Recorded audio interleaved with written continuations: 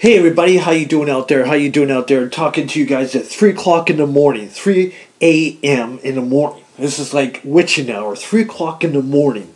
This is like the witching hour, and uh, for for the life of me, this is the best time to uh, DV, do an EVP session, uh, voice, um, you know, kind of thing. We want to call out the spirits in the uh, afterlife. We want to call them out in the afterlife for my dear friend uh, David Joseph Namagon. We want to call him out. We want to call his spirit, his voice in the afterlife, in the uh, you know life after death, life after well, not really after life after death, but uh, past the grave or beyond. Uh, his spirit will speak. David Namagon will speak in the afterlife. Um, I just want to tell you guys, it's been a great time, great, uh, great few days.